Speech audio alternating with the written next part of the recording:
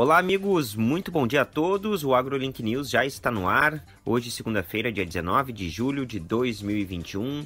Eu sou o jornalista Lucas Rivas e hoje nós vamos falar sobre a redução no preço das hortaliças para o consumidor final. Também vamos trazer os últimos números referentes ao agronegócio no Rio Grande do Sul. Destaque também para um projeto que prevê a isenção para os pequenos agricultores. É claro, vamos atualizar ainda os indicadores econômicos e trazer os destaques do portal AgroLink. E tudo isso você confere a partir de agora. Acessando o portal AgroLink, você vai saber que as cotações da soja subiram na última semana. A safra de soja nos Estados Unidos foi mantida na estimativa de 120 milhões de toneladas. No Rio Grande do Sul, o estado tem um potencial para produzir mais de 120 sacas de soja por hectare. Levantamento este foi feito em 11 municípios com quase 40 cultivares da oleaginosa.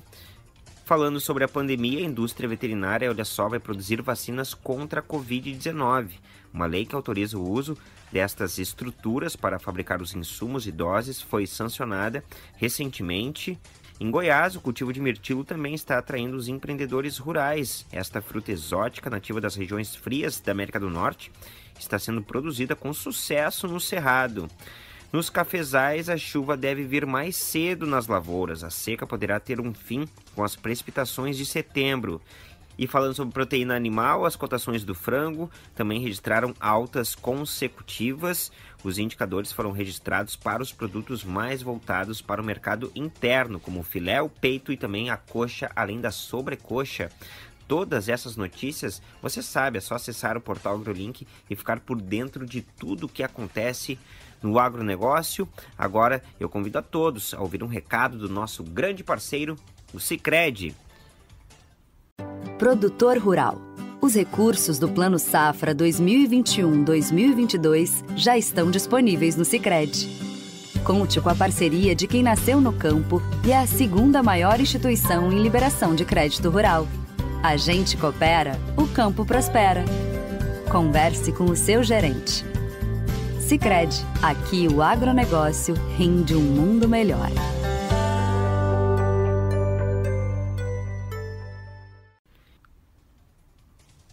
Esse é o nosso grande parceiro Sicredi aqui no portal AgroLink e agora recentemente, na semana passada, a Conab divulgou o mais recente boletim sobre o mercado de hortifruti. Este levantamento mostrou uma queda no preço das hortaliças e os detalhes nós vamos conferir agora na reportagem de Renato Paiva.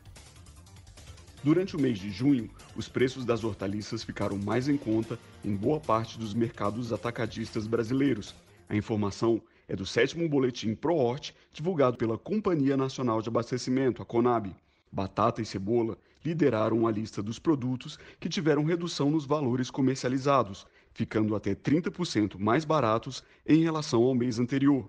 A gerente de estudos do mercado hortigranjeiro da Conab, Joyce Fraga, comenta as possíveis razões dessa queda nos preços. A redução de preços para a batata está associada à grande oferta da safra das secas, que está abastecendo atualmente o mercado, e à já entrada em pequena quantidade ainda da safra de inverno nas centrais de abastecimento, e com isso temos esse movimento de queda de preços. No caso da cebola, as reduções estão relacionadas ao aumento e pulverização da oferta nesta época do ano. Essa pulverização faz com que as zonas produtoras fiquem mais próximas dos centros consumidores e, com isso, temos menores custos logísticos e o produto é comercializado a preços menores. Já com relação às frutas, o destaque fica com a redução de preços da laranja, ocasionado por uma menor demanda e menor qualidade do produto associada a questões climáticas. Já a maçã teve uma alta nas suas cotações, como observa o superintendente de estudos agroalimentares e da sociobiodiversidade da Conab, Marisol Marinho. Diferentemente do que ocorreu com as hortaliças, nas frutas a gente tem um cenário mais disparo, mais desigual. Enquanto a laranja e a melancia tiveram uma queda no preço em função da baixa procura, principalmente ocasionada por conta das temperaturas mais amenas, né? são frutos que são consumidos em temperaturas mais quentes, acabou que esses preços caíram. Já a maçã, em função do fim da safra, teve um leve aumento. A maçã é interessante dizer que ela fica agora, nesse momento, elas ficam armazenadas com os classificadores em câmaras frias que conseguem fazer uma regulação da oferta. E além disso também, esses armazenadores também têm utilizado o canal de exportação, que aumentou bastante no primeiro semestre desse ano, 79,72% em relação ao primeiro semestre de 2020. Com um clima frio no mês de junho em boa parte do país, os padrões de consumo interno foram modificados, o que impacta na comercialização de hortifrutis, de acordo com a análise do diretor de Política Agrícola e Informações da Conab, Sérgio Desen, que também comenta a influência desse mercado na economia. Na maioria dos preços, tanto das hortaliças quanto das frutas, a gente não vê um aumento substancial de preço. Pelo contrário, os principais hortaliças, com exceção do tomate, tiveram uma redução de preços. A mesma coisa está acontecendo com as frutas. É lógico, existe o fator clima. Com o frio, as pessoas consomem menos produtos frescos, produtos gelados, entre aspas, né? E procuram os produtos mais quentes. Mas é um movimento de preços que contribui para o controle da inflação do país, principalmente a inflação dos alimentos. Neste mês, a Conab passou a incluir no Boletim ProHort as informações de comercialização da Central de Abastecimento do Acre. Reportagem Renato Paiva. Muito obrigado pelas informações. Agora nós vamos para o sul do Brasil. É que na semana passada o sistema da Federação da Agricultura do Rio Grande do Sul, a Farsul, e a Fundação Pro Sementes divulgaram o resultado dos ensaios de cultivares para a safra de soja 2021-2022. O levantamento apontou um potencial produtivo de até 122 sacas por hectare, enquanto a média no estado gira em torno de 57,2 sacos por hectare. Nesta safra, os ensaios foram conduzidos em mais de 10 municípios, sendo avaliadas 39 cultivares.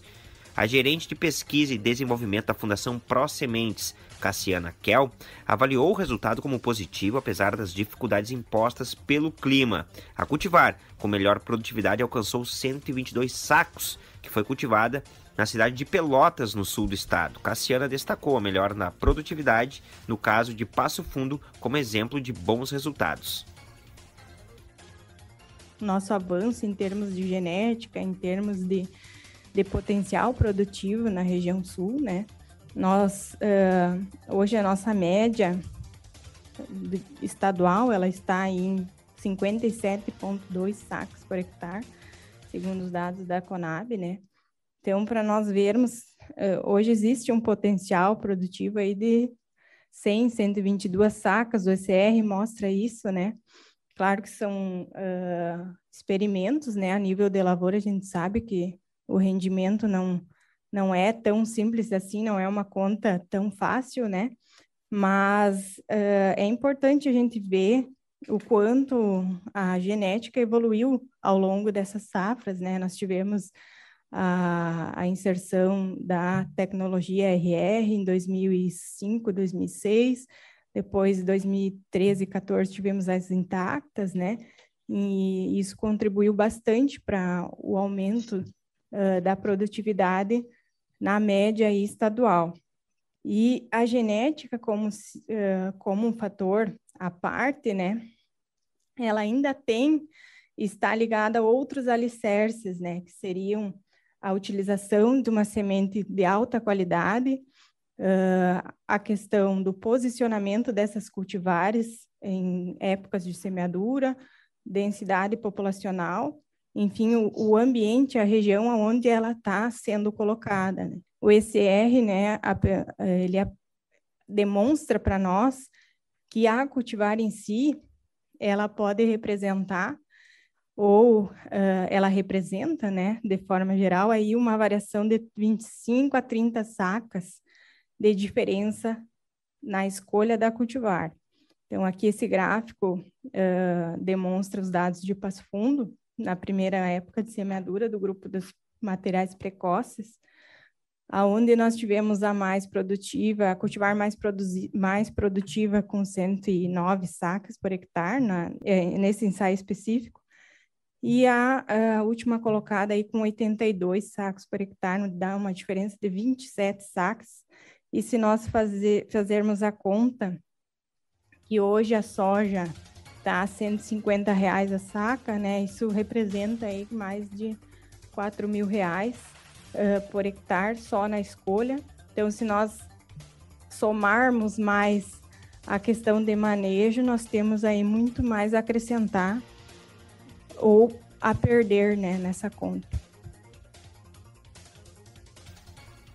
Os resultados animaram também o presidente do sistema Farsul, Gedeon Pereira, que garantiu a continuidade das pesquisas. Boa notícia para os produtores de soja no Rio Grande do Sul.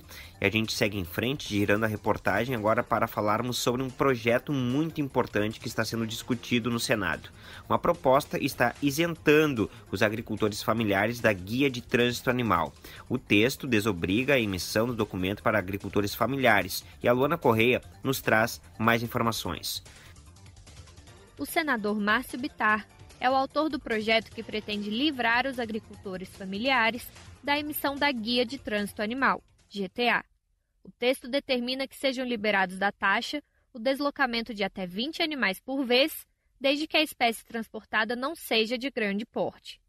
Ainda de acordo com a proposta, a liberação só será aceita para deslocamentos dentro do mesmo estado. Dados do Censo Agropecuário de 2017 mostram que cerca de 77% das propriedades agrícolas brasileiras adotam um modo de produção familiar para fins de subsistência e, ainda assim, são submetidos ao mesmo procedimento de controle que as grandes criações comerciais. O cálculo da GTA depende da quantidade de animais transportados, da espécie que é deslocada e se a finalidade é ou não o abate. Mas, segundo a auditora fiscal agropecuária do Ministério da Agricultura, Pecuária e Abastecimento, Andréia de Oliveira, fica a critério de cada estado decidir o cálculo quanto à GTA, a qual é expedida pelos órgãos oficiais de defesa sanitária animal. O PL, que pretende desobrigar a cobrança dessa tarifa em benefício dos agricultores familiares, aguarda análise do Senado. Da Rádio Senado, Luana Corrêa. Obrigado pelas informações. Reta final aqui do AgroLink News de hoje. Nós abrimos a semana soja, saca de 60 quilos, sendo vendida a 157 reais em Dourados, no Mato Grosso do Sul. Em Pedro Afonso, Tocantins, 161 reais é o indicador da soja. Em Rondonópolis, Mato Grosso, 164 reais. Em Bebedouro, São Paulo, 165 reais é o indicador da soja. Em Balsas, no Maranhão, a saca de 60 quilos abre a semana sendo negociada a 162 reais. E com estas atualizações do mercado da soja, o AgroLink News fica por aqui. Uma ótima segunda-feira para todos. Amanhã nós temos um novo encontro marcado. Até lá!